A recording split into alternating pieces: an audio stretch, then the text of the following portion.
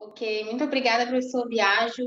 Primeiramente, obrigada pelo convite de estar aqui nessa sala online com pessoas tão importantes e pesquisadores também da área de sustentabilidade. Então, é um grande prazer para mim estar aqui. É, bom, conforme a apresentação do professor Biagio, eu sou professora Marina, sou engenheira e tenho doutorado na área de logística reversa e eu sou engenheira de produção e venho trabalhando com temas de sustentabilidade há mais ou menos 10 anos, então me, encantei por essa área, na verdade, desde o mestrado, mas foi no doutorado que eu consegui me aprofundar um pouco mais.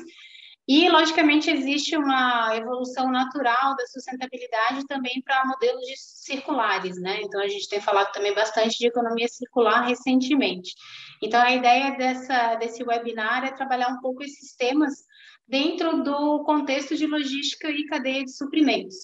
E, logicamente, a gente não tem como falar de, de desses temas tão atuais, não levando em consideração o ambiente que a gente está vivendo agora, né? Então, já se falava em ferramentas disruptivas e tempos disruptivos antes do Covid, e agora está cada vez mais em alta. Então, eu quis trazer um pouco, juntar um pouco de tudo isso, dessa grande atualidade que a gente está vivendo nesses temas, dentro dessa conversa com vocês. Então, é, como o professor Biá já, já comentou, eu sou professora da Engenharia de Produção, Departamento de Engenharia de Produção e Sistemas da UFSC e trabalho na pós-graduação com esses temas, principalmente com as questões de sustentabilidade na cadeia de suprimentos.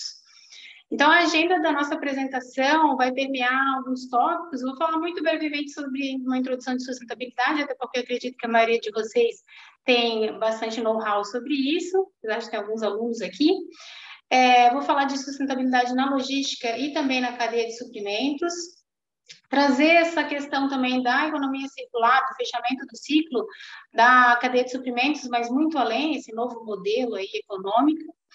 E dentro desse contexto, eu vou falar de um, de um case de vestuário, que é da empresa de varejo de roupas, a H&M ou H&M, podemos falar em português que é mais fácil, né?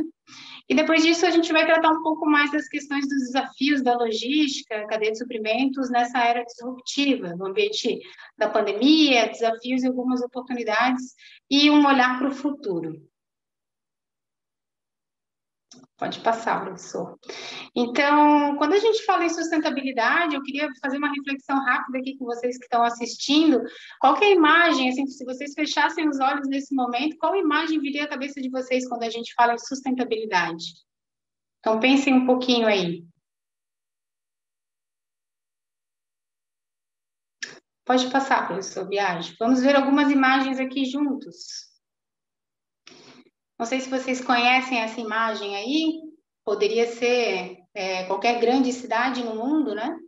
Mas é uma imagem da, da grande impacto da atuação humana na sociedade, no, no planeta. Pode dar mais um clique. Não sei se já tinham visto essa imagem aí, chamada de Ondas de Humanidade, pelo The Guardian. Essas imagens saíram no The Guardian alguns anos atrás, da cidade do México. Outra imagem, podemos passar. Não sei se vocês lembram, essa imagem é bem impactante também. Pode dar mais um clique. Foi o vazamento de óleo em 2010 que houve no Golfo do México. Então, imagine o impacto ambiental disso, que perdura até hoje. Essa outra imagem também traz a, a grande impacto aí que tem da atividade pecuária, né? E, e nesse caso, uma imagem aqui do Brasil da atividade pecuária, pode dar mais um clique atividade de pecuária no Brasil, a gente sabe todo o impacto, desde a preparação do terreno até a atividade em si. Pode dar mais um clique. Essa imagem não é do Brasil, até pela floresta que a gente está vendo ali, que é uma floresta mais temperada, né? não é uma floresta tropical, mas pelo The Guardian foi chamado de, pode dar um clique, Brasil do Norte. Isso é a British Columbia, no Canadá. Então, pela alta taxa de desmatamento, no Brasil a gente está vivendo agora índices aí, infelizmente, recordes, né? É, foi chamada de Brasil do Norte pela, pelo The Guardian. Pode passar? Essa imagem também poderia ser uma linda imagem, né, de um surfista dentro de um tubo, mas o que mais chama atenção é a quantidade de, de lixo, né? A gente sabe que, infelizmente, o Oceano Pacífico está sendo tomado aí, principalmente por plásticos, pode dar um clique. Isso aí é na ilha de Java, na Indonésia. E por fim, a imagem que eu acho que, para mim, pelo menos, é a que mais choca, próxima imagem, que é desse pássaro morto que ingeriu várias peças plásticas, né? Isso é no Midway Atoll, nos Estados Unidos, mas é, é, é, no Pacífico, né? Então, é uma imagem também que choca bastante. Então, uh, eu gosto de trazer essas imagens. Talvez não sejam essas imagens que tenham vindo à cabeça de vocês quando vocês pensarem em sustentabilidade, mas eu acredito que essas imagens elas dizem muito sobre a, a nossa realidade atual e como é iminente as ações que a gente precisa tomar. Pode passar. Então, só para sistematizar, que vai que tem algumas pessoas aqui que não trabalham exatamente nessa área, né? Quando a gente fala de sustentabilidade, o que, que a gente está querendo dizer?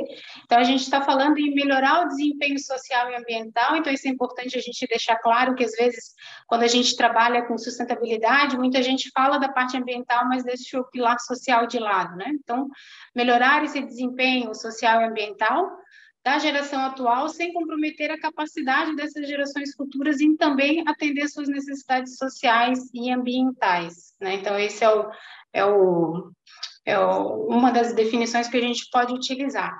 E pode passar? E por isso a sustentabilidade está galgada, está né, tá baseada em um tripé que é o econômico, social e ambiental. E a gente não pode se dizer, por exemplo, uma cadeia de suprimentos sustentável, logística sustentável, se a gente não tem uma equidade de desempenho nesses três pilares. Né? E quando a gente fala em cadeia de suprimento, é um pouco mais complexo ainda, porque a gente já está falando de vários elos numa mesma cadeia, né? Então, sustentabilidade não é a mesma coisa do que desenvolvimento sustentável. Pode voltar ali, professor, acho que passou sem querer. É, não é a mesma coisa do que desenvolvimento sustentável, porque a gente, quando fala em desenvolvimento sustentável, a gente está querendo falar em crescimento econômico também né? Então, garantindo e preservando o meio ambiente. Então, são duas coisas que têm relação, mas não é exatamente a mesma coisa. Pode passar. E trazendo isso para o ambiente corporativo, então a gente tem atuação nesses três pilares, né? Pode passar, completar esse slide, por, por favor. No ambiental, social e no econômico, e quais são as ações que a gente poderia ter dentro das empresas nesse sentido, né? Ainda não trazendo para o contexto de logística e cadeia de suprimentos. Pode continuar passando aí para preencher o slide. Então, dentro da, da parte ambiental, a gente pode falar da cleaner production, né? As tecnologias, é, produção mais limpas, tecnologias limpas, utilização responsável aí dos recursos naturais, atendimento às leis, a gente tem mais voltado para a questão da logística, por exemplo, a gente tem a Política Nacional dos Resíduos Sólidos, foi otorgada em 2010 e tem dado bastante trabalho aí para as empresas, principalmente dos setores que são atingidos, e tem todo, todo o planejamento aí setorial e municipal e estadual e federal também atrasado com relação a isso.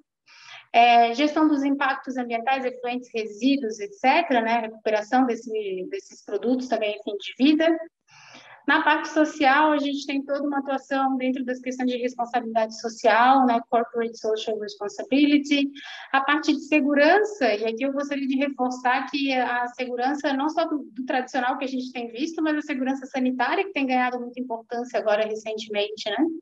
As questões de direitos humanos, né, de equidade de salários, por exemplo, entre gêneros e outros, compromisso com os recursos humanos, a questão de transparência e ética também, que é bem colocado principalmente no ambiente de cadeia de suprimentos, é, participação e promoção de projetos de cunho social, e assim por diante, desenvolvimento local também, a gente tem que pensar na comunidade onde está inserida, e vou falar um pouco sobre isso no contexto da logística, e, por fim, a parte econômica, que eu acho que é o mais tradicional, a gente não precisa entrar muito nesses aspectos, mas a questão de vantagem competitiva frente aos, aos concorrentes, qualidade dos produtos e serviços, eficiência em custo, as estratégias do negócio e foco nos acionistas e resultados para eles, né? Então, a sustentabilidade corporativa tem que atuar nesse tripé aí também. Bom, agora, dado esse contexto inicial aí das, das, definições que eu utilizo, né, agora a gente pode falar um pouco da sustentabilidade dentro do ambiente de logística e cadeia de suprimentos. Pode passar. Então, bom, antes de falar do, do tema especificamente, acho que é importante a gente ressaltar a relevância da logística e da cadeia de suprimentos sustentável, né? Por que, que é importante os estudos dentro dessa área? Então, aqui tem um gráfico que eu trago desse relatório do SEG, que é bem recente também, tem os dados até do ano de 2019, que fala das emissões de dióxido de carbono equivalente por setor de energia no Brasil, né? Então, a gente vê que, historicamente, eles têm os dados aí desde 1970, é, historicamente, o setor de transportes, isso pelo uso de combustíveis, tá? É, então, são, é um relatório que traz essas emissões de GHGs, né, o GE, gás estufa, pelo uso de combustíveis. Então, o setor de transportes, ele já, desde os anos 70, ele já era, já representava a maior parte dessas emissões, né? E como vocês podem ver aí no gráfico, que está em vermelho, que é essa, essa curva superior, que é a curva de transportes, só vem aumentando, e é, hoje representa 47% da emissão dos gases de efeito estufa. Só para vocês terem uma ideia, em 2019 foram 196,5 milhões de toneladas de CO2 equivalentes no Brasil, tá? Falando só do Brasil. Então, realmente, obviamente que logística de suprimento não se resume a transporte, mas essa, esse é um grande indicador que a gente tem muita coisa a fazer nesse aspecto. Pode passar. Bom, quando a gente fala de logística sustentável, ok, então o que, que a gente pode é, trabalhar dentro da logística, né? A gente precisa trabalhar novamente visando esse tripé da sustentabilidade dentro do ambiente de logística. Então, quando a gente fala, obviamente, em logística economicamente eficiente, a logística tradicional que a gente, desde o início, vem trabalhando para tentar, pode ir dando cliques aí para aparecer o, o restante do conteúdo, que é trabalhar de maneira eficiente, né, com os recursos, estratégias de redução de custo, projeto de rede, por exemplo, que otimize as entregas e reduz os custos, foco na agregação de valor para o cliente, e aí a gente tem sempre aquela dualidade, eu sou muito da área do Lean também, do Lean Manufacturing, e o Lean fala que a logística não, não, não que a logística, né, mas que a movimentação de materiais, pessoas não agrega valor. Mas quando a gente está falando de distribuição física de produtos, a gente está agregando valor na logística de tempo e lugar, né? Então, é uma, é uma forma diferente aí de interpretar.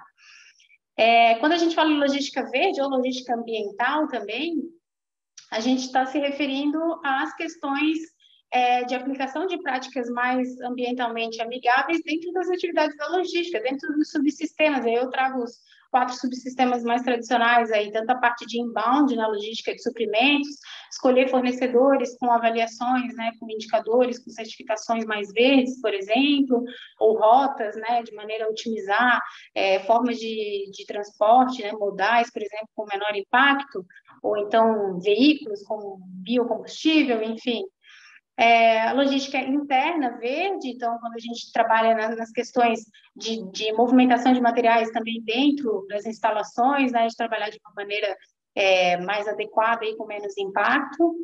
A logística de distribuição verde, então, o outbound também focado nessas questões ambientais. E, por fim, que é o mais lógico, que está mais fácil da gente é, palpar, né, a questão da logística reversa mesmo, que é a atividade que vai fazer o fechamento do ciclo, que vai permitir, por definição, né, que a gente faça o, o fechamento do ciclo para uma recuperação, para uma reciclagem, enfim, remanufatura, ou mesmo para dar um descarte final adequado, né, por definição.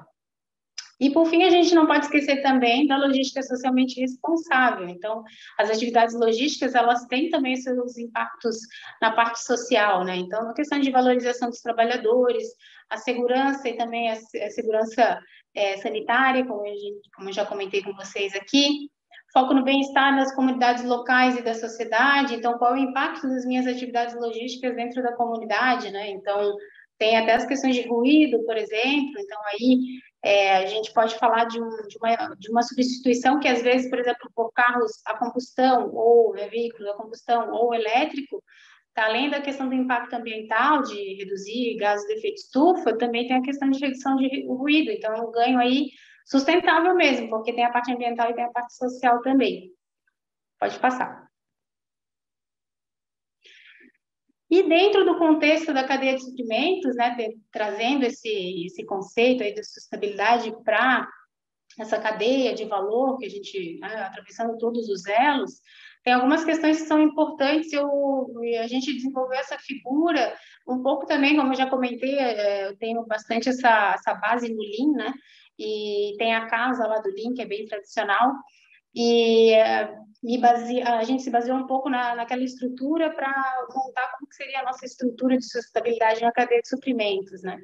Então, obviamente, nada se constrói sem uma cultura. Então, assim como tem a filosofia enxuta, né, teria que ter essa filosofia da sustentabilidade também.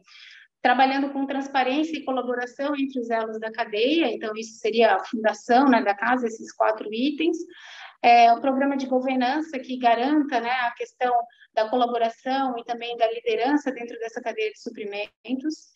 E, obviamente, uma medição de desempenho que seja também igualitária nesse tripé da sustentabilidade, né? que, que valorize que os KPIs lá tenham é, uma, uma mesma importância dentro desse tripé.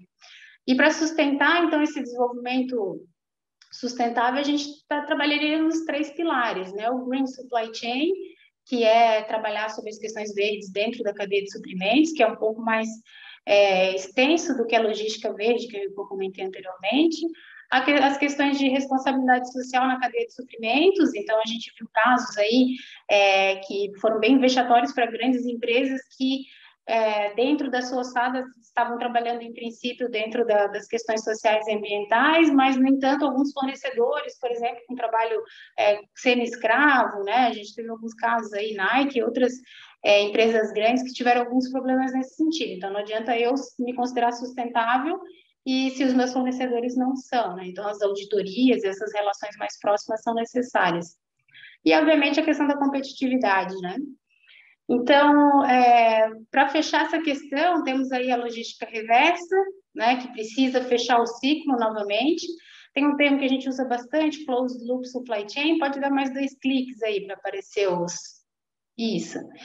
E, bom, naturalmente a gente precisa não só trabalhar em todos os elos da cadeia de uma maneira mais sustentável, mas a gente precisa transicionar para esse modelo mais circular, desde o planejamento de toda a cadeia, desde o fechamento, todo, toda a geração de valor para o cliente, inclusive o cliente envolvido nisso, né? A gente precisa trabalhar sobre isso, senão a gente é, não vai conseguir manter os nossos níveis aí de desenvolvimento por questões de escassez de recurso mesmo, né? Pode passar, então, que a gente vai falar um pouquinho de, da economia linear versus a economia circular.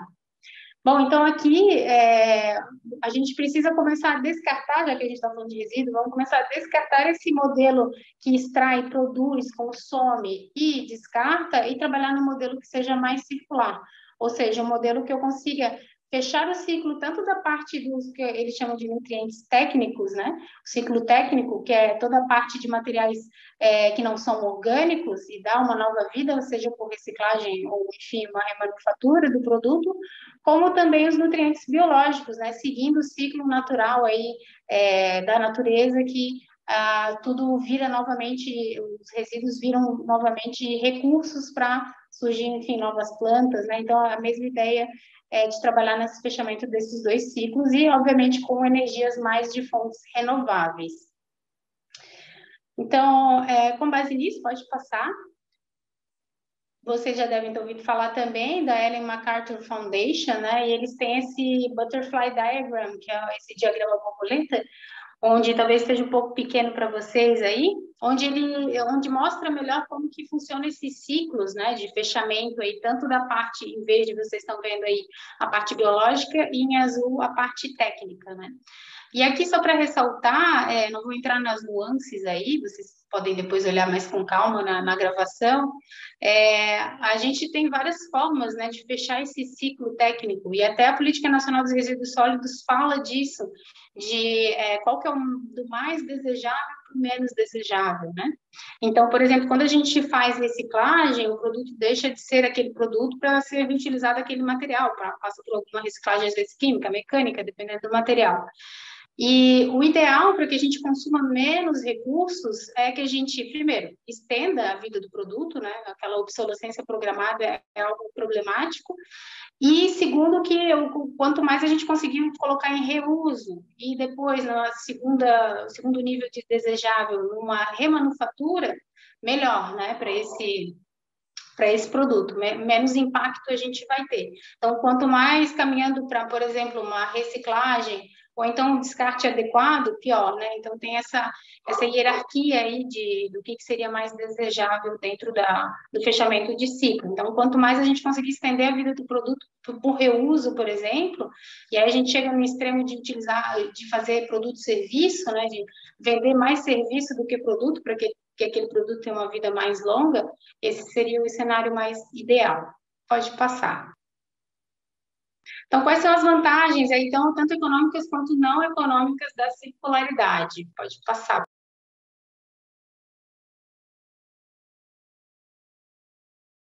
Perdão, aqui tocou meu telefone, então meu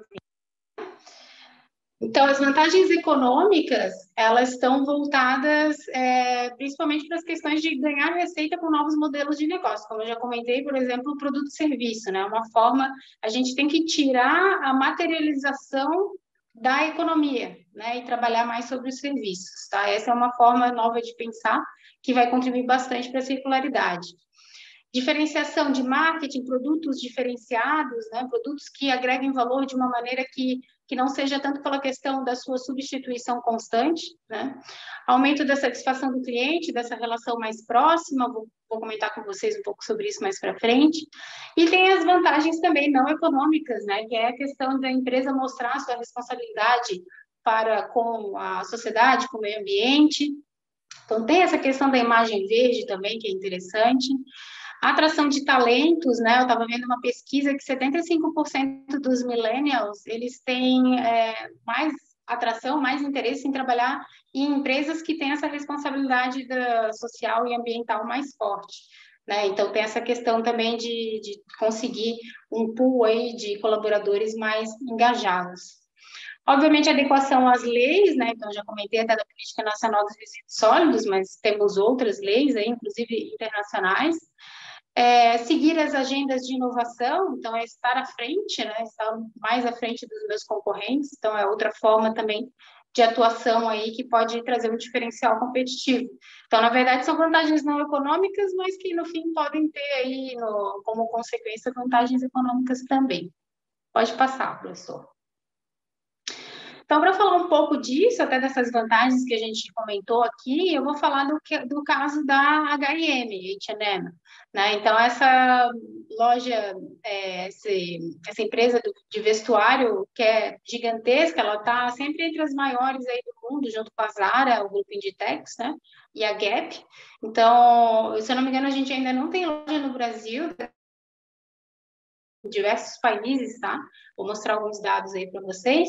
E vamos falar dos desafios de trabalhar com circularidade dentro do ramo têxtil, porque não é um produto de altíssimo valor agregado, a gente não está falando de celulares, computadores, né? Nós estamos falando de, de, sei lá, de motores, né? Algo que às vezes é, é, é mais tangível a gente fazer essa, essa, esse fechamento de ciclo. Pode passar, por favor.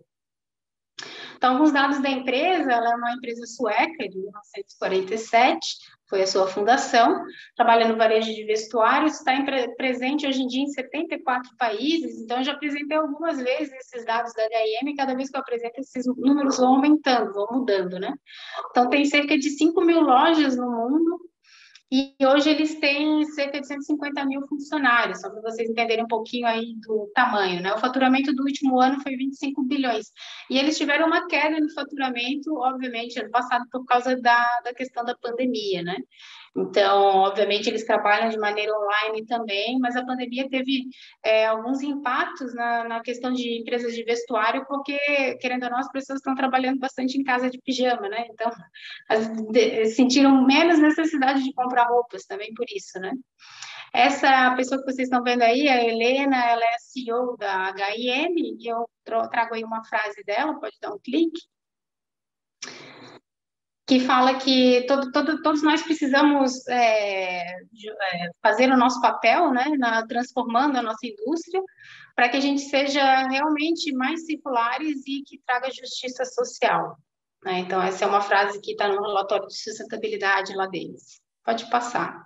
Por que eu falo desse caso da H&M, né? Lógico que eu sempre atualizo as informações, mas eu tive a oportunidade de visitar a H&M Estocolmo e falei com a coordenadora, daqui a pouco ela aparece aí, eu falei com a coordenadora de, é, da parte de sustentabilidade da empresa. Fizemos uma grande entrevista, eu junto com o professor Canan Govidan, lá da Dinamarca, e foi muito interessante. A gente, né, o, é, pegamos o projeto no início, o projeto que eles estão fazendo de fechamento de ciclo, e é, é um caso muito interessante para ser estudado não só para empresas do ramo, mas para outras empresas também, né? Então, eles têm se mostrado líderes na mudança nessa questão de sustentabilidade, principalmente na questão de fechamento de ciclo dos produtos. É, eles chamam de que, que, eles têm que ser circular e climate positive. Então, essa, essa, esse quadro é, em laranja aí que vocês estão vendo é basicamente uma análise de ciclo de vida de todo o produto, desde a parte lá de design do produto, até fiação, manufatura, etc., até inclusive a fase de uso. E eles mostram na, nas colunas ali, a primeira coluna está falando de qual que é a influência deles em cada uma dessas fases. Então, obviamente, a maior influência deles é na parte de design e na parte de venda, porque é o core business deles, né? As fábricas são tudo terceirizado. E os impactos, tanto o impacto na, na, questão de mudança de clima, impacto na questão de águas, né? De, de é, impacto na, na questão de poluição de, de águas, e também na parte de impacto social. Então, é um, é um termômetro aí que eles vão medindo e vão atualizando ao longo dos relatórios, né? É, eles tinham uma meta lá no início, quando a gente conversou com eles, de chegar em 2020 usando 100% de algodão orgânico, e eles conseguiram essa meta. Então, atualmente, eles estão utilizando nas roupas apenas algodão orgânico. Conseguiram reduzir 14% no uso de embalagens, e principalmente embalagens plásticas, que a gente sabe que é o grande vilão aí, e estão utilizando 65% dos materiais de fontes ou recicladas ou que sejam mais sustentáveis. Pode passar. Dá uma olhadinha como é que está o tempo aqui, tá tranquilo. Ah, então, na questão da circularidade, qual, qual, que é a visão deles dentro desse sistema? Né? Eles precisam, primeiro, trabalhar na perspectiva da circularidade do produto, que é pensar desde o design, é, como que eu consigo fazer o fechamento e facilitar, por exemplo, as etapas de fim de vida. Né? Então, uma das grandes barreiras que às vezes a gente tem na, logística reversa é exatamente produtos que têm dificuldade de desmontagem ou reciclagem ou remanufatura porque não foi pensado lá no design. Né? Então, tem essa questão de já trabalhar, com, por exemplo, é, com tecidos que não sejam mesclados, essas questões que vão facilitar a reciclagem lá na frente. Também trabalhar com parceiros dentro da cadeia que facilite todo esse fluxo de retorno e, ao mesmo tempo, trabalhar com clientes que, é, e também com iniciativas, a gente vai falar sobre isso, que facilitem uh, o retorno do produto. Então, uma das dificuldades de, do fluxo reverso é porque o nosso início desse fluxo reverso é o consumidor. Se o consumidor não estiver engajado, seja por um motivo ou outro, a gente não consegue executar, né? Pode passar. Então, só para vocês terem uma ideia, o programa começou em 2013, esse programa que chama Don't, Don't Let Fashion Go, uh, Go to Waste, né? não, não, não deixa jogar a, a roupa no lixo. É, então, eu tenho alguns dados aí. O ano que eles mais coletaram foi em 2019, basicamente 29 é, toneladas de, de roupas foram coletadas. Mas é, ano passado teve um decréscimo, né? E por, pelas questões que eu já comentei com vocês, eles tiveram até algumas lojas que foram fechadas, a previsão de abertura de lojas para 2020 que não ocorreram, foram postergadas por causa da pandemia. Né? Então, teve uma, uma redução aí de coleta, porque é o principal ponto de coleta da, das roupas usadas eram essas lojas, né? E esse totem que vocês estão vendo à direita do gráfico é onde a pessoa chega na loja e pode fazer o depósito da sua sacola de roupas usadas. E o incrível desse programa é que não precisa ser roupas da H&M, né? Pode, podem ser roupas de qualquer, pode ser, a, lembro até da coordenadora falou, pode ser aquele par de meia velho que você só tem uma, não tem outra, não tem problema. Qualquer tipo de roupa de qualquer marca, em qualquer estado, desde semi-nova até rasgada, tudo eles aceitam nesse, nesse retorno. Tá, então é, é um programa bem interessante nesse aspecto. E como é que isso foi estruturado? Pode passar, professor. Então, como, como, que a gente precisa motivar o consumidor para fazer isso? Qual foi a estratégia que eles utilizaram, né? Pode ver nos cliques aí. Primeiro, trabalhar com descontos, né? Então, o cliente, a cada sacola de roupa que ele deixa lá, ele vai ganhar um desconto. Na Alemanha, por exemplo, eles trabalham com porcentagem, 15% de desconto para quem, é, na próxima compra, né? Para quem é, entrega uma sacola. É, ou então vouchers, né? Então, no Reino Unido, eles recebem 5 libras para gastar numa próxima compra de pelo menos 30 libras. Né? Então, também como se fosse uma forma de desconto. Bom, como consequência, vejam só que, que estratégia interessante deles, que jogada de, de vendas também, né? É, eles acabam trazendo os clientes mais para perto. Né? Os clientes acabam, em vez de ir na Gap, ou ir na Zara, ou ir em outra loja, eles vão ter que ir lá para deixar roupa e já vão possivelmente, né, com aquela estratégia de não estar tá na porta de, de, entrada, né, deve estar tá lá no fundo, vai ter que passar pela loja inteira, já olha roupas novas, etc, e vai incitar o cliente a comprar novas, novas roupas, né. Aí, claro que isso até questionei, a, a coordenadora daí apareceu, a Cecília, é, questionei, é, mas na verdade vocês estão motivando é, o cliente a comprar mais roupa, né? Que pode estar encurtando a vida de, de do, do, vestuário que o, que o cliente já tem. Então, talvez não seja tão sustentável assim, né? Logicamente, ela não ficou muito feliz com essa minha colocação, mas é uma, é uma estratégia interessante, né? Não, não, não, resta dúvida. Então, a Cecília, que é coordenadora de sustentabilidade, ela coloca que o que eles querem com esse programa é mudar a mentalidade dos clientes que veem a, as roupas como, como lixo, né? Como roupa usada, roupa velha como lixo, e ver, que, que a gente começa a ver como recursos. Né? Então, essa é diferença de resíduo e lixo, né? Pode passar, por favor. Então, como é que ocorre esse fluxo reverso? Uma vez que chegou na loja, numa das 5 mil lojas, lá 97% das lojas, tá, eles têm esse programa, não é 100%, mas a grande maioria. Então, o cliente vai lá, coloca dentro desse totem, aí essa, essas peças usadas, elas vão para o CD da H&M, tá, para os centros de distribuição, daí eles têm uma parceria, eles vendem para essa empresa que chama iCollect, e dentro dessa empresa, eles fazem a triagem do material. Eles têm praticamente uma triagem manual, eles têm 400 critérios de para fazer essa triagem aí. Pode dar mais um clique para separar nas diversos, diversas categorias aí que tem, né? Então, por exemplo, é, aquelas peças que são muito boas, de alto valor e que está em bom estado, vai para esse reuso, como se fosse um brechó, por exemplo, né? Que eles chamam de vintage. É, ou então ele vai para uma lavação e vai ser, por exemplo, doado vendido para preços, preços bem baixos, ou então para aquelas que não têm condição, tipo aquela meia que eu comentei que não tem outro par e que está furada ainda, né, que não tem condição de nem doar, nem reutilizar, vai para uma reciclagem, ou então o que a gente chama de downcycling, que a gente reutiliza aquele material, aquele produto têxtil, só que na reciclagem mecânica, por exemplo, ele às vezes, dependendo do material, ele vai perder qualidade. Então, por isso que a gente chama de downcycling. downcycling. Pode passar.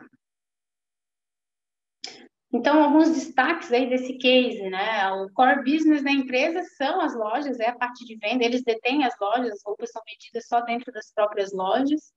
A parte de design né, do produto e também o foco no suprimento, apesar de que eles não, não, não detêm né, a fabricação. Então, eles têm esses contratos com a manufatura e têm rastreamento de toda a cadeia, né, para tentar trabalhar da maneira mais sustentável possível. Eles fazem essas auditorias é, periódicas aí com seus colaboradores, com seus, perdão, com seus parceiros. E é, foi uma iniciativa, esse Don't Let Fashion Go to Waste, que não surgiu de leis, né? Inclusive, eles comentam que algumas leis de alguns países até dificultam, porque, por exemplo, é, eles não permitem que roupas usadas entre, a Turquia um deles, que não permite que a roupa usada entre dentro desse país e que exatamente eles queriam, né, para poder trabalhar sobre as questões de triagem e dar uma nova vida ao produto, né? Eles veem como se fosse lixo, não como um resíduo que pode ser reutilizado e ter algum valor ainda. Então, algumas leis acabam até dificultando. Pode passar. Então, quais são os principais drivers aí, fatores motivadores dessa, desse caso, né, dessa, desse exemplo que eu trago para vocês? Pode dar o um clique aí, por favor. Então, principalmente reduzir o descarte de resíduos, logicamente, né, preservando, assim, os recursos naturais, que a gente reaproveita, faz reciclagem do, dos tecidos e aí consegue não, não ter que fazer é, extração de material virgem é, as questões de pensar no futuro, e não só na, na, questão do futuro da sociedade, das questões ambientais sociais, mas o, a sustentabilidade do próprio negócio, né? Eles estavam vendo, uma das, dos drivers dele, é, deles é que o preço do algodão estava aumentando muito, né, ao longo dos anos. Então, ia chegar um momento que ia ficar muito difícil ser competitivo nesse sentido. Então, eles começaram a ver outras estratégias aí. E o que eu coloco aí também é a questão de aumentar as vendas, né? Porque, querendo ou não, eu estou trazendo o cliente mais para próximo. Então, talvez, é, eu acredito que aumenta, né, dando vouchers aí, dando esses, esses cupons e descontos, acaba incentivando o cliente a comprar mais também.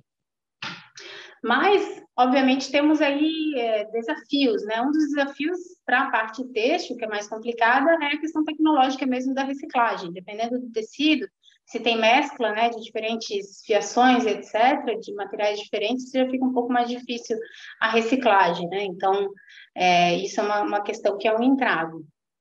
A questão de achar fornecedores de fios, tecidos que sejam reciclados, né? Não, não tem escala ainda para isso, então isso é uma, uma limitação, limitação tecnológica. A matéria-prima reciclada ela ainda é mais cara, mas isso deve mudar ao longo do tempo. Como eu já comentei, as leis em alguns países e os sistemas de coleta eles são necessários globalmente, né? Então é uma rede, imagina, eles estão espalhados no mundo todo, é uma rede global aí que precisa ser estabelecida para conseguir fazer toda essa essa logística reversa. Pode passar. Bom, dito, falado aí do caso da HM, que eu acho que inspira bastante, traz algumas questões para a gente refletir também, a gente pode falar dos desafios é, da logística e da cadeia de suprimentos sustentável, né? Então, vamos nesse momento disruptivo que a gente está vivendo. Então, o que, que o Covid trouxe né, para a nossa, nossa realidade?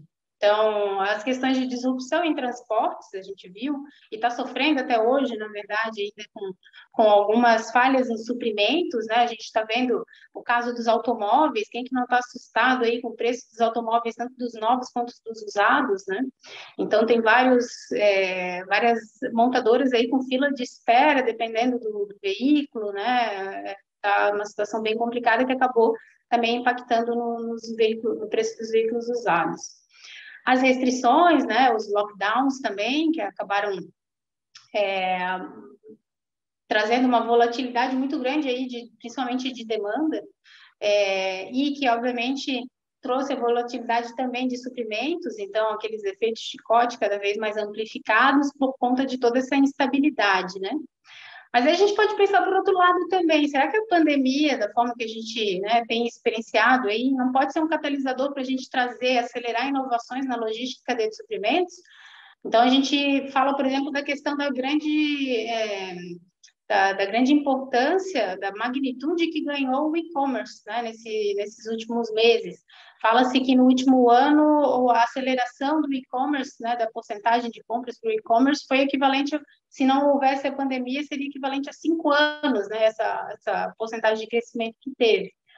Então, como que a gente pode utilizar disso para trazer inovações para a área de logística de suprimentos, né? Então, uma das questões que não é um tema novo, mas que voltou-se a falar muito é a questão da resiliência. Então, já que eu estou falando com vários pesquisadores aí, acho que é um tema muito relevante para se pesquisar novamente dentro do contexto que a gente está vivendo agora.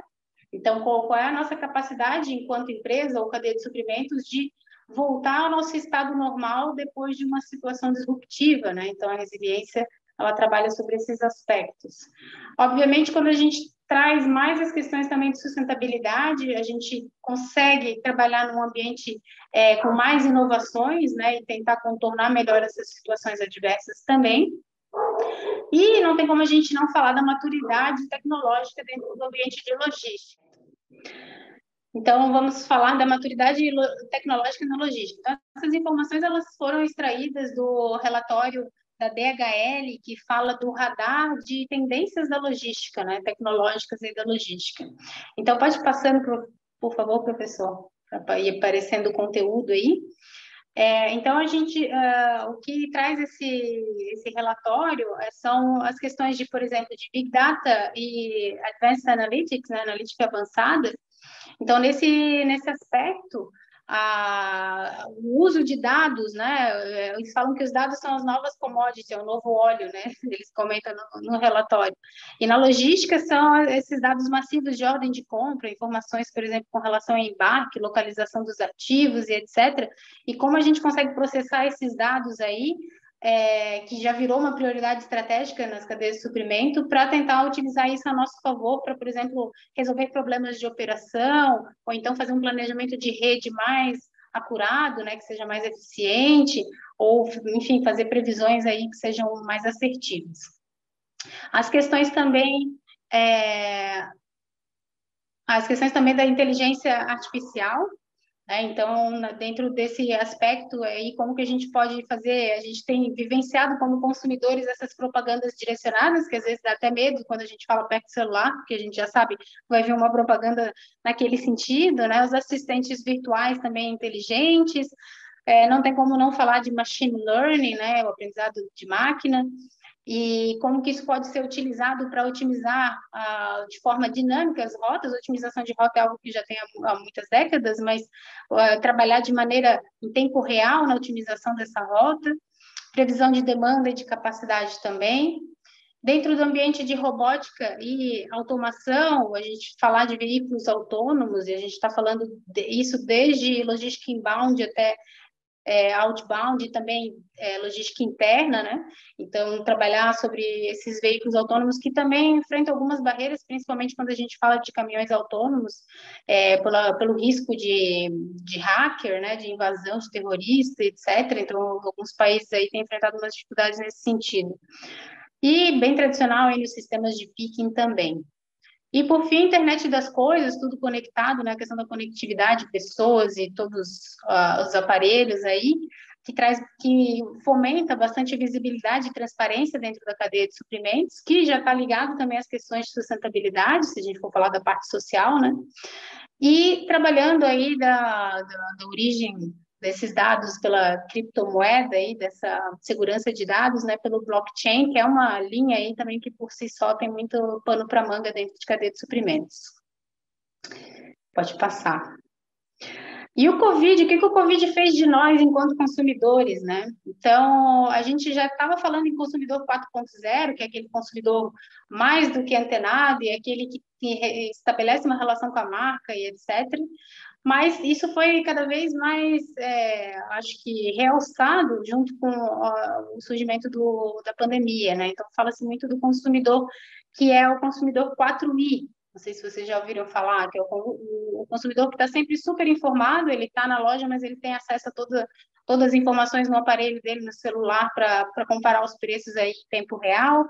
É, então, ele, tá, ele é informado, ele é impaciente, eu quero comprar, a gente tem as entregas agora até para o mesmo dia ou para o dia seguinte, né? Então, gente que quer para ontem. É um cliente que é infiel no sentido de que se a outra marca me oferecer condições melhores, eu não tenho problema também para trocar de marca. E individualista, no sentido que eu quero um produto totalmente voltado para mim. Então, tem alguns produtos, algumas marcas aí, que inclusive estão fazendo. É, você pode fazer uma customização quando compra online para vir com seu nome escrito, alguma coisa assim, né? Então, isso traz essa, essa questão, atende essa customização aí para o cliente.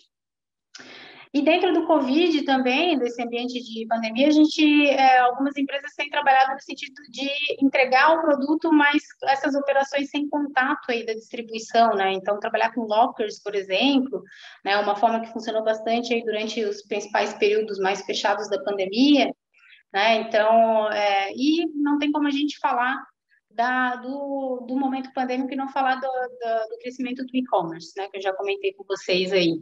Então, a gente teve um crescimento exponencial nos últimos meses por causa da, da pandemia, e é, quando a gente fala de e-commerce, a gente precisa trazer essa realidade para o ambiente multicanal, né, de, de atendimento aí ao cliente.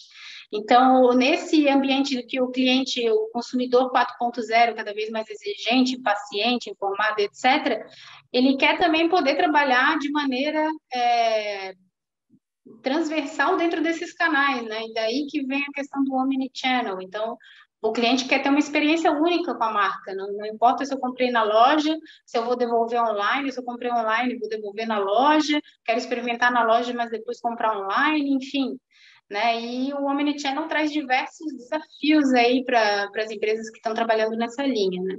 E, os, e, muitos desafios também estão ligados, ligados à logística reversa, não logística reversa de fim de vida, como a gente estava falando ali da, no caso da H&M, mas logística reversa de produtos comprados, né? Quem aí na pandemia não teve que ir algumas vezes no correio para mandar de volta algum produto? Né? Então, tem essa questão do acesso aos canais de retorno, né? como que funciona. Aí, para a empresa, o balanço físico e financeiro, ali, quando retorna o produto, às vezes é uma complicação também. Como trabalhar de maneira eficiente nesses processos, sendo que eu tenho tantas incertezas, né? Não tem como prever quantos clientes vão devolver o produto, não é algo tão assertivo assim, né? Então, traz bastante, muitos desafios aí também. E falando do fechamento do ciclo, pode passar, por favor.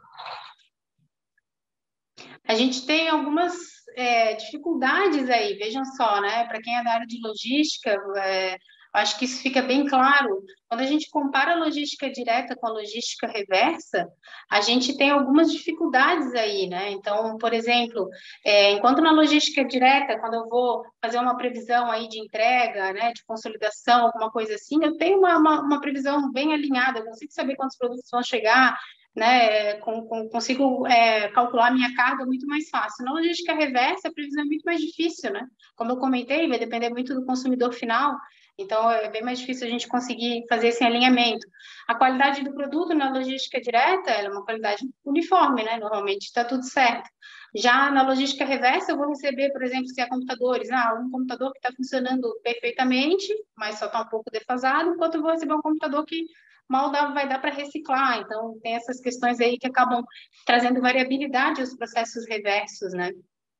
O canal é mais padronizado na logística reversa, enquanto na, na direta, perdão, enquanto na reversa é, é, é, mais orientado pela exceção, então tem essas questões aí que acabam é, dificultando um pouco. Outra questão que eu não vou falar de todos os pontos aqui, porque o nosso tempo é pequeno, mas outra questão que é bem importante é a questão de marketing, né? Fala-se muito no remarketing para os produtos aí de segunda mão. Perdão aqui. É, o que, que acontece? É, tem algumas empresas também que têm uma certa aversão de vender produtos remanufaturados porque é, tem medo que isso vá canibalizar. Já vi casos, não vou ficar citando nomes aqui, mas já, já trabalhei em empresas que tinham esse problema, que vai canibalizar as vendas de produtos novos, que é onde a gente tem uma margem de lucro maior. Então, eu não vou vender produto remanufaturado porque para nós não vale a pena. Né? Eles têm medo dessa canibalização. Então, são questões aí também que precisam ser elaboradas. Pode passar que, que isso traz, essas diferenças aí, né? O que, que isso traz de desafios, então, dentro para o fechamento de ciclo, né? A gente fala de é, falta de capacitação técnica de profissionais mesmo para trabalhar nessas áreas, né? então tem essas limitações aí nesse sentido. É, limitações tecnológicas de reciclagem, como a gente viu o caso da HM, ou mesmo de remanufatura, Tá? É, por exemplo, a Embraco é uma empresa aqui do, do, sul do país, né, de Joinville, que faz o retorno de, do, dos seus compressores, mas eles, por ser um compressor hermético, ele não, ele não é projetado para conseguir se fazer remanufatura, eles acabam reciclando o produto. Né? Então, talvez, de, dependendo se desde a fase de design fosse feito um projeto para desmontagem que conseguisse remanufaturar de alguma maneira, poderia ser uma, uma solução, né? É, falta de colaboração entre os elos da cadeia, né? então a gente viu isso aí na Política Nacional dos Resíduos Sólidos ficando bem claro. A outra questão que pesa muito, obviamente, é a questão de economia de escala. Então, a gente viu isso no caso da HM também, é um desafio grande aí para a gente conseguir trabalhar de uma maneira mais custo-eficiente na logística reversa e no fechamento de ciclo. Planejamento e previsão e qualidade são incertos, como eu já comentei ali anteriormente, né? É mais difícil a gente conseguir planejar toda uma rede reversa. Às vezes faltam leis que sejam leis, sei lá, motivadoras, que tenham descontos, por exemplo, se utilizar material reciclado, né? Então, alguns incentivos aí, é, em impostos, quando é transporte de produto remanufaturado ou é, reciclado, enfim, né? Todo, todo, tem vários países que têm algumas leis nesse sentido e o Brasil ainda está um pouco atrás disso. A questão do remarketing eu já comentei, e, obviamente, o que acaba atrasando muitas coisas é o não envolvimento da alta direção, a inclusão disso no planejamento estratégico, por exemplo, para se dar a devida importância a esses aspectos. Pode passar. Então, para a gente ir fechando aqui as possíveis soluções, né? Como que a gente pode trabalhar, então, para enfrentar esses desafios? Então, uma das questões é a gente trabalhar de uma maneira integrada dentro de todo o fluxo reverso, porque às vezes a gente pensa só na questão da logística reversa, mas a gente precisa trabalhar de maneira integrada tanto o front-end, que seria esse contato direto com o consumidor, a logística reversa em si, mas também dentro do que, que a gente chama de mecanismo, que é a parte de recuperação, de reciclagem, de, enfim, de triagem, desde, desde as fases aí todas que o produto vai passar, e até também pensar na questão de como que a gente vai revender esse produto ou esse material, né? Então, essa, todos esses elos, importantes elos aí, eles precisam estar muito conectados, né, para a gente conseguir fechar o ciclo de maneira eficiente. E também utilizar a internet das coisas, por exemplo, ativos inteligentes, para a gente conseguir ter um rastreamento desse produto. Por exemplo, imaginem vocês, né, se a gente conseguisse comprar um produto que, é, sei lá, uma máquina de lavar que tivesse é, um dispositivo ali que tivesse sempre informando de alguma maneira por Wi-Fi, é, informando as empresas que, ó, tá chegando no final da vida útil, esse produto aqui está apresentando tais, tais problemas, então, essas informações aí poderiam ser bem importantes também para projeto de produto. Então, é uma maneira aí de a gente é, pensar no futuro. Já tem algumas iniciativas nesse sentido, mas é muito incipiente ainda. Pode passar. É, a questão de redução de plásticos, né? Para vocês terem ideia, a Procter Gamble, elas, eles estão com, a, com a, o projeto de até 2030 de conseguir reduzir é, 100% das embalagens recicláveis, tá? É, aliás, perdão, de 100% das embalagens serem recicláveis até 2030, tá? Então, é uma meta audaciosa aí. 2030 parece longe, mas tá, são só nove anos, né? Às vezes a gente fala parece longe. É, e também utilizar mais embalagens de base biológica, né? Os bioplásticos que sejam compostáveis, é, né? Feito de, a gente já viu vários aí de mandioca e, né? Que duram poucos, poucos anos, às vezes meses? Então, essas são soluções aí interessantes. E também é, utilizar-se de automação na parte final, lá, logo depois do pedido do cliente na embalagem, e para poder agilizar esse processo de embalagem e o cliente poder dizer se eu quero embalagem ou não e qual tipo de embalagem que eu quero. Né? Então, às vezes, até quando a gente compra em supermercado, a gente, é o caso da automação, né? Mas só para dar um exemplo, só você quer em sacolas plásticas ou em caixas, né? Então, dá a opção para o cliente também, às vezes, escolher o tipo de embalagem. E trabalhar no foco com as pessoas. Eu falei bastante aqui das questões de maturidade tecnológica, mas não adianta tecnologia se a gente não tiver essa colaboração contínua entre pessoas e máquinas, né? Pode passar que tem mais algumas coisinhas aí. Então, a gente precisa é, entender que a inovação, o papel central da inovação está nas pessoas, né? Então, essa, é, precisamos trabalhar nessa mentalidade digital, mas com essas normas culturais positivas e treinamento contínuo nesse sentido. Pode passar. Bom, não tem como a gente não falar de frotas elétricas também, uso de veículos elétricos, né? Especialmente nas entregas aí de última milha, que a gente tem visto, bastante, desde bicicletas elétricas até monociclos, né? Aqui no sul não tem muito, São Paulo tem bastante. É, existem, não sei se vocês já ouviram falar, essa startup Aviation, que em 2019 lançou o primeiro avião elétrico de passageiros. Eles têm intenção aí também de trabalhar com cargas, né? Então, imagina só, vocês queriam ser seguros em viajar num avião elétrico? É, entregas por drones, né, dirigíveis também, e ah, um exemplo aqui da, dessa grande, né, da Caterpillar, que trouxe toda essa questão de tentar converter cada vez mais os seus veículos a diesel para veículos elétricos, né, e isso, com isso eles estão conseguindo reduzir bastante os seus impactos, principalmente nos gases de efeito estufa. É, nas questões de instalações e fábricas aí, né? Essa Baytree, que é uma empresa de logística, ela construiu em 2018 um armazém que é 100% feito de painéis solares, né? Todo abastecido por energia solar e com também jardim comestível, né? Então quebrando aí alguns paradigmas.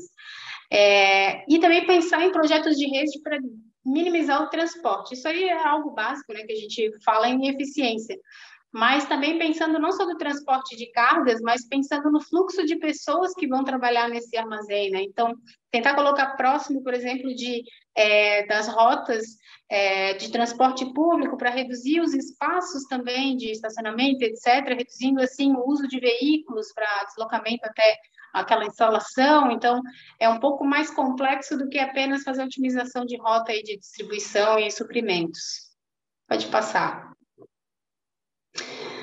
Então, só dois casos aqui bem rápidos para a gente fechar, da DHL e da XPO. Então, a DHL foi fundada em 69 na Alemanha, todo mundo já ouviu falar, eu acho que dispensa mais apresentações aí, vocês estão vendo os dados é, que são gigantes aí dessa empresa. É, Para vocês terem ideia, mais de 50% dos clientes eles pedem informações sobre práticas é, sustentáveis do negócio. Tá? Então, para vocês verem como às vezes essa demanda vem por parte do cliente, né? Então, eles têm algumas metas, eles têm a meta de zero emissões em 2050, já chegaram em mais de 11 mil veículos elétricos atualmente, e até 2030 eles querem estar trabalhando com 80 mil veículos é, elétricos. E, olha só, na aviação, eles têm esse SAF, que é, é, um, é um combustível é Sustainable Aviation Fuel, se não me engano é a, é a, é a sigla, que é um combustível que é de base, que eles trazem de, é, é, fazem com base de óleo, tanto animal quanto vegetal, e é misturado com combustível comum, querosene, não sei, até 50% pode se misturar, para tentar reduzir as emissões. E com isso, eles conseguem reduzir de 25% a 30% as emissões de GHG. Então, é uma, uma alternativa interessante. E da XPO, então, uma grande empresa aí também americana tem, teve um faturamento no ano passado de 16 bilhões de dólares, só para vocês terem noção, para gente aí em 30 países. Eu trago aí algumas uh, atuações, tanto é, sociais, sustentabilidade social, também como sustentabilidade é, ambiental, né? Então, é, eles tiveram várias alternativas, eles têm um relatório também, eu deixo o, o, a fonte aí para vocês, com a questão de saúde e segurança dos, dos trabalhadores, principalmente volta, voltado para a questão do Covid, né? Então, é, como que eles adotaram as metas de, de distanciamento, essas, eles fazem essa aferição de saúde diária, o, o trabalhador chega lá, mede temperatura, é, tem que colocar no relatório se veio de viagem ou não, por exemplo. Tem testes gratuitos de Covid, é, então, toda essa questão aí, adotaram políticas de não reduzir salário, como outras empresas acabaram adotando, né? Mas eles não adotaram essas políticas, usando esses, eles chamam de cobots, que é Collabor Collaborative uh, Robots, que são os robôs colaborativos que trabalham junto com os funcionários, tem, não tem essa separação de um robô no seu ambiente específico, né? Então, é, são robôs que são mais interativos nesse sentido, dentro dos armazéns, e uh, dentro daquelas entregas também sem contato que eu já tinha comentado. E, bom, na parte ambiental, tem, tem várias iniciativas que eles comentam nesse relatório aí, de caminhões do tipo, eles chamam de dual trailer, né? Do, do tipo bitrem utilizado é, na Espanha, por exemplo, que não era, não era algo comum. É, eles são líderes em transporte com o uso de gás natural. É, conseguiram também reduzir bastante o frete vazio, né? Que, obviamente, além da questão de custo, tem um impacto ambiental à toa aí também e algumas iniciativas que eles tiveram na Holanda com a Danone de conseguir auxiliar na construção de um armazém totalmente CO2 neutro, e na Primark, Primark, né, que é a grande loja também de varejo de roupas aí, que auxiliaram na questão do armazém de construir todo com uso de energia renovável e também transporte mais verde utilizando de gás natural. Então eles embarcaram nesse projeto com essas empresas aí para tentar reduzir os seus impactos. Então, olhando para o futuro, agora para a gente fechar aqui, já que já estou extrapolando um pouquinho o tempo. Então, o que, que a gente pode ver né, com toda essa conversa que tivemos aqui? Pode ir passando. Então, esse modelo de, de extrair, fazer e de descartar está né, tá cada vez mais arriscado. A gente viu o caso da HM, não é nem só mais uma questão ambiental, mas de sobrevivência da empresa mesmo, porque a escassez de vários materiais está iminente, né, então a gente precisa levar isso em consideração. Quais são as consequências aí que a gente pode ter? Disrupção no suprimento, né? Isso é um risco grande que vai, vai trazer muitas ah, alterações aí de, de preços e, e riscos para a cadeia de suprimentos. Pode passar. Então, a gente precisa aumentar, sim, a eficiência dos processos, mas isso já não é mais o diferencial, já não é mais suficiente, a gente precisa repensar o modelo em que, que a gente está vivendo, né?